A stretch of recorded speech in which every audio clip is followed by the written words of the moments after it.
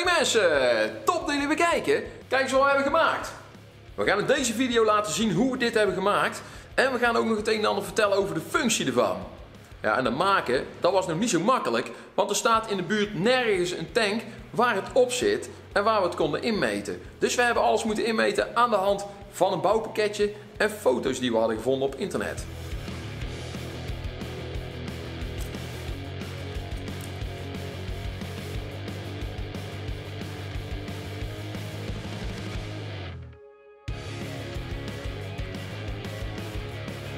Rond die uh, rooklanceerbuizen. Kijk, daar loopt ook maar tot hier, zie je. En dit is die eerste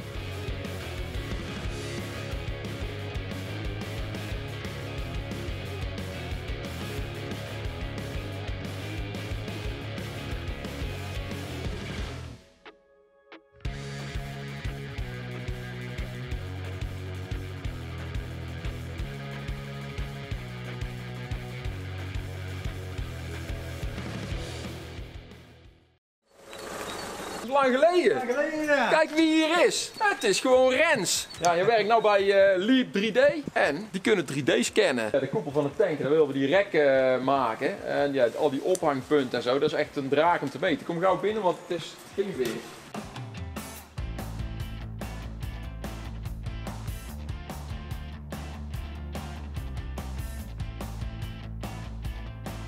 Oh joh, kijk wow. hier.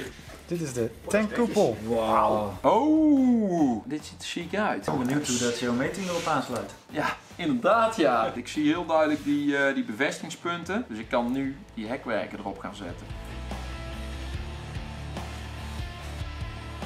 Dat lijkt toch wel te kloppen zo. Yes, hartstikke bedankt. Ja, en uh, ik zou zeggen, kom nog een keer langs hè. Ja, zo doen. Ja, vooral als we nog een keer meer om te scannen hebben natuurlijk ook. Maar ook gewoon voor de gezelligheid. Een keer een bakje koffie doen. Ja, doen we. Dat moeten we zeker doen. Ik heb een ontdekking gedaan. Ik heb uh, hier de tekening voor me. Dit is zoals ik dacht dat het zou moeten zijn. Ik ga eventjes de boel een beetje verdraaien. En kijken wat we nou zien. Ze hebben gewoon serieus scheef erop gelast. Die hekwerken die zijn er vermoedelijk in Irak aangelast. Dat hebben ze besteld bij dezelfde fabriek als waar ze die tanks hebben besteld. Dat hebben ze echt gewoon 10 graden verkeerd erop uh, gezet. Is bijzonder dat ze dat er zo scheef opgezet hebben, zeg. Dat moet goed komen. Ik heb ook deze maten nog overal gecontroleerd. Dat is ook in orde nu. Very good. Ik denk dat we het bijna hebben dan. Zoveel hebben wij nodig van deze hoeklijn. Oké, okay, now we wait. Ik heb even de bestellijst doorgestuurd. Dus dan um, ja, hopen dat we het uh, vlot hebben.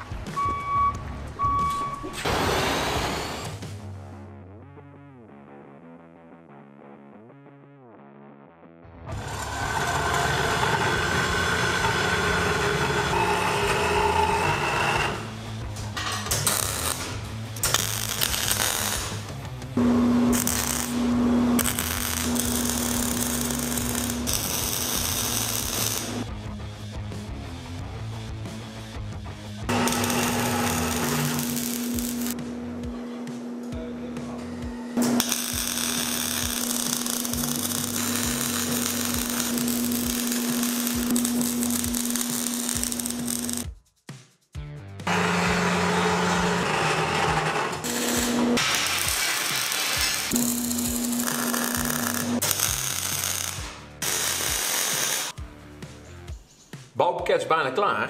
Maar we hebben natuurlijk deze nog nodig. Die gebogen hoeklijn.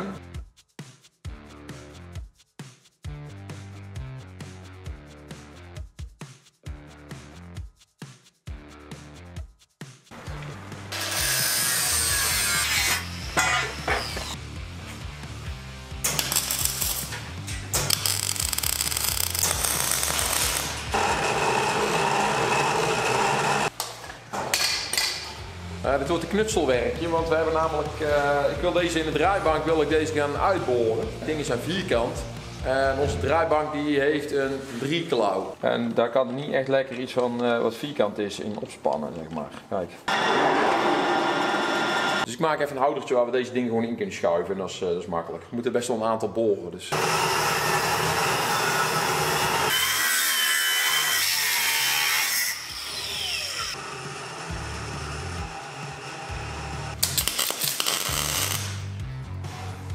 Oh, hij is klaar. Ons vierkant uitboorapparaat, houder dingetje.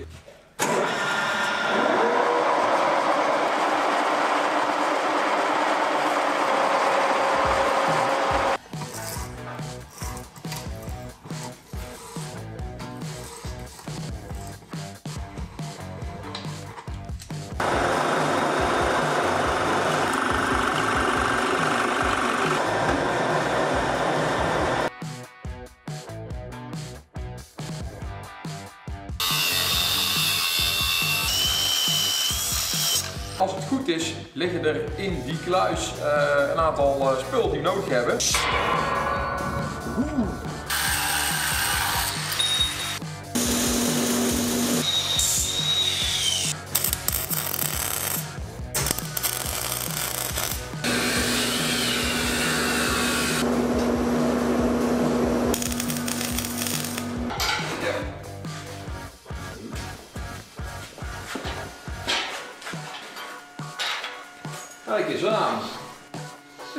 Niks tegen. Hè?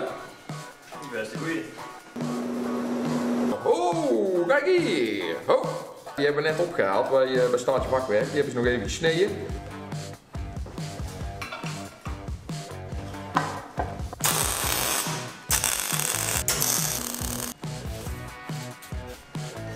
Kunnen we één keer passen, ja. Very nice.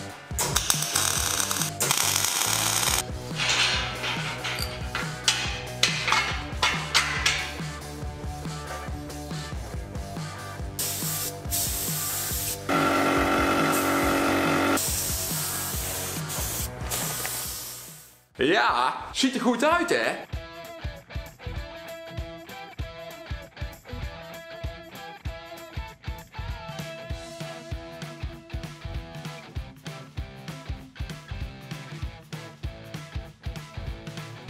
Wat een mooi bagagerek hè, maar het heeft ook nog echt een functie. Laten we even uitleggen hoe dat zit. Zie je dit? Dit is niet een trechter met een bloempot met een stuk buisraam.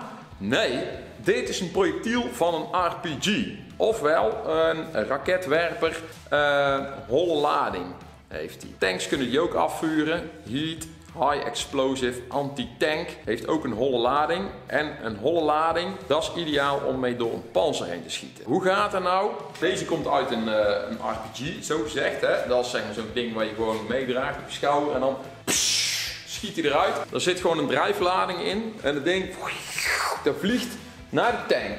En hiervoor zit een ontsteker, zit daar. Dit, dat is gewoon een holle punt eigenlijk. Op het moment dat hij daar tegenaan komt, zeg maar, dan uh, ontploft de springlading die hier zit. Maar kijk even hier binnenin.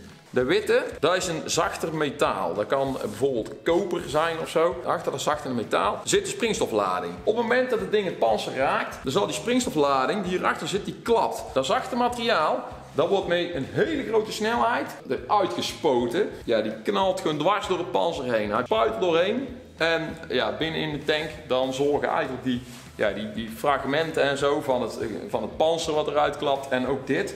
Uh, dat brengt eigenlijk de schade aan. Maar wat heeft deze bloempot nou te maken met die hekwerken? Dus, hier komt hij aan. Onze raket.